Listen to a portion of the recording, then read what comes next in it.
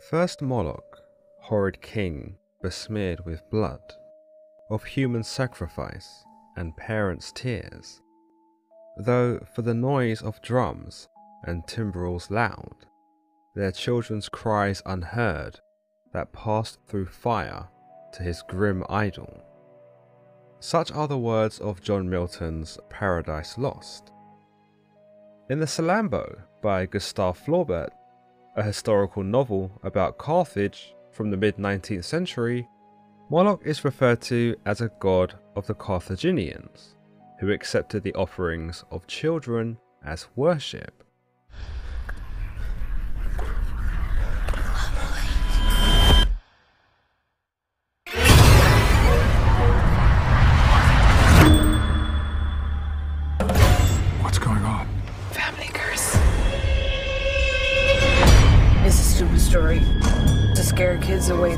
From. Do you? Take it seriously.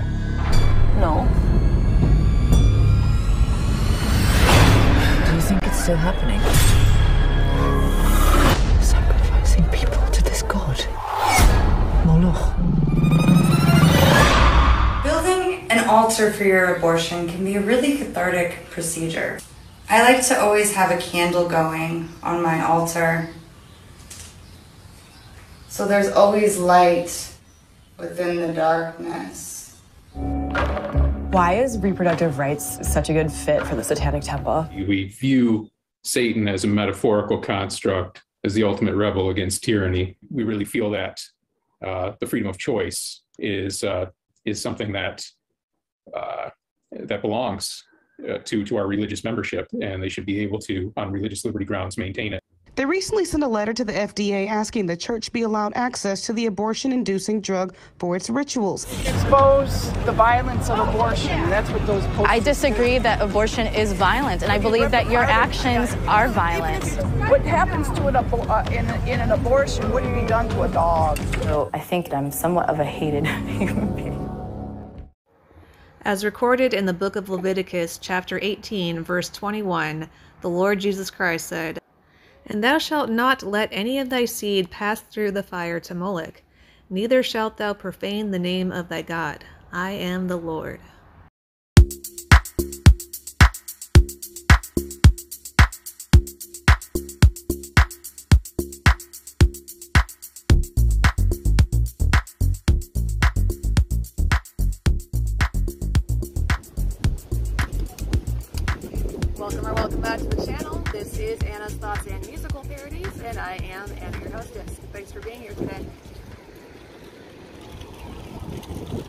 In the spirit of being pro life and valuing the life of the child that I have, which I'm sure most, if not all of you here, would agree with, I thought it was a great time to feature my collection of baby onesies and toddler tees that I have designed. The link for the merch store will be in the description. Thank you so much in advance to anyone who decides to support. And now let's get all the way into today's video. So the thing that originally inspired me to make this video was the clip of the woman who is building an altar or showing you how she used her altar uh, for an abortion. Um, that is a common practice in paganism to use an altar for things. So I am really curious to know more about why she did that and what her full intentions were.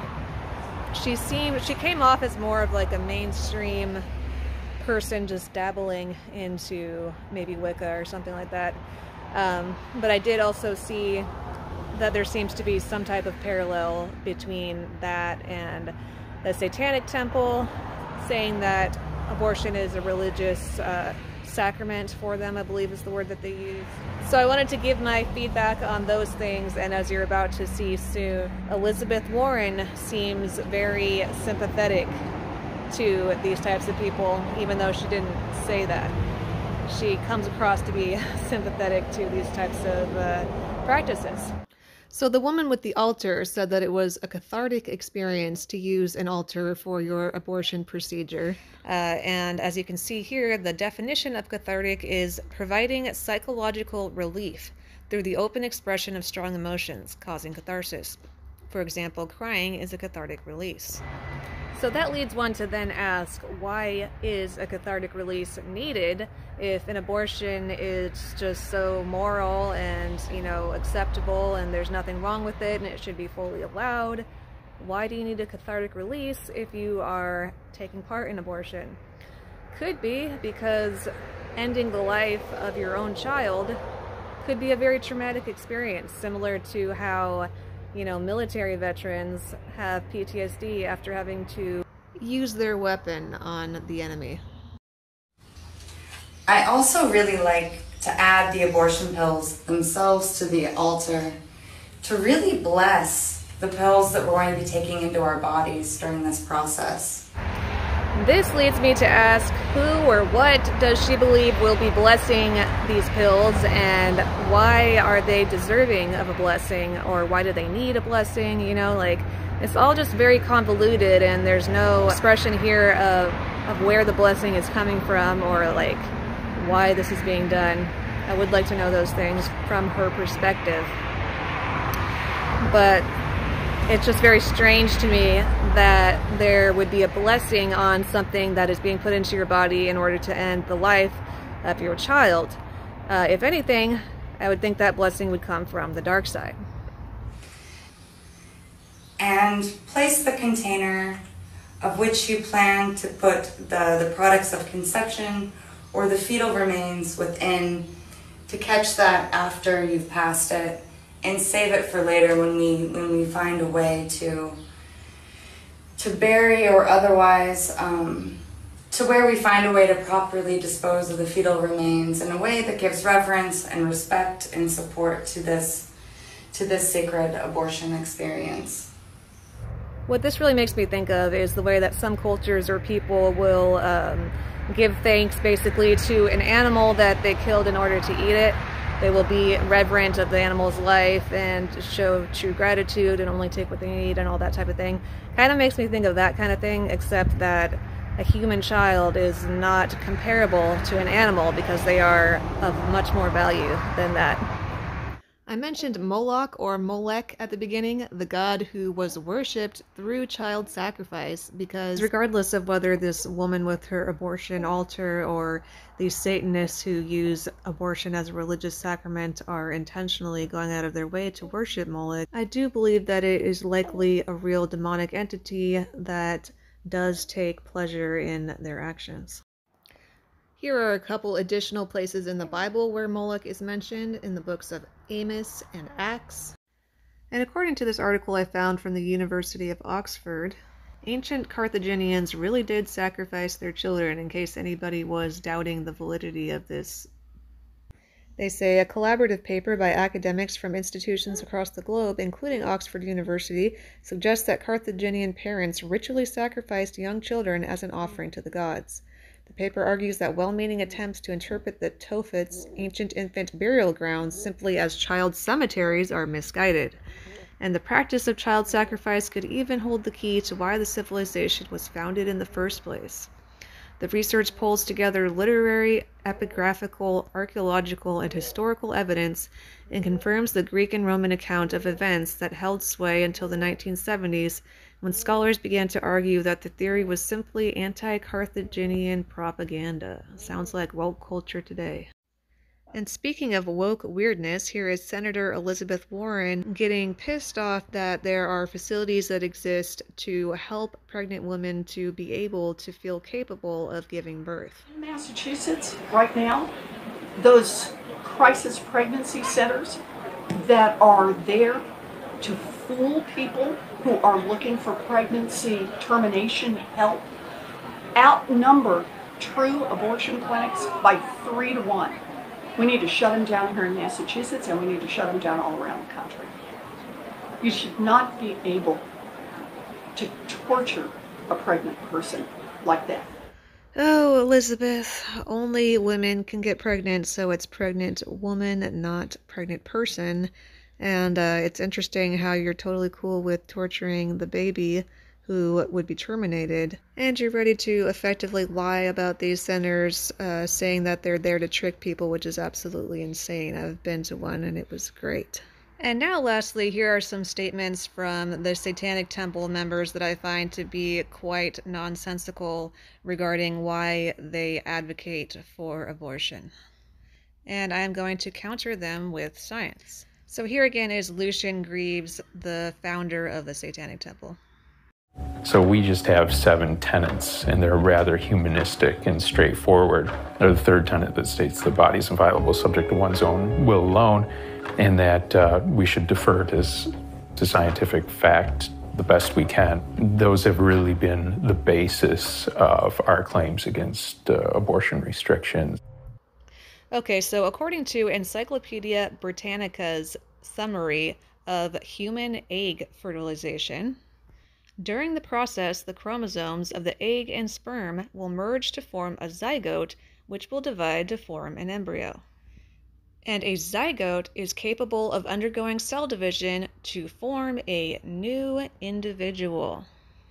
So, correct me if I'm wrong, but as far as I can tell, this is objectively stating that Human egg fertilization is the beginning of the development of a new human being, and really, we are developing and changing our entire lives. So, there's nothing special about when they come out of the womb or when the heart starts beating.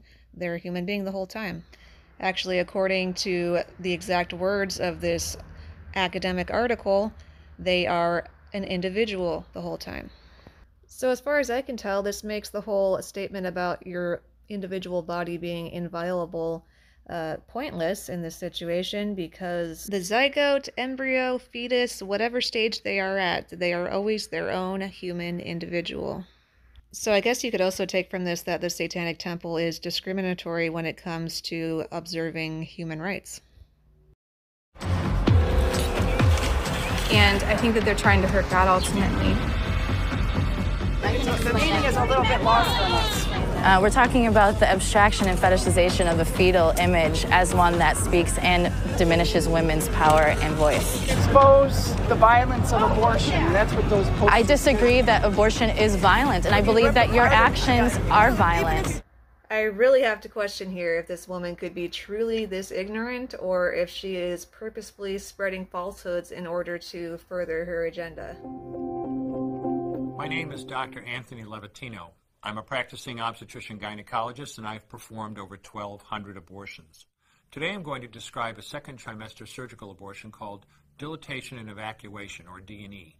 A D&E is performed between 13 and 24 weeks of pregnancy. Once the cervix has been stretched open, the suction tube is placed inside. A baby at 20 weeks gestation is as big as the length of my hand, from head to rump, not counting the legs. The suction machine is turned on, and pale yellow amniotic fluid surrounding the baby is suctioned out through the catheters. The baby's bones and skull are too strong to be torn apart by suction alone. This is a Sopher clamp. A Sopher clamp is made of stainless steel. It's about 13 inches long. The business end is about two and a half inches long and a half inch wide, and there are rows of sharp teeth.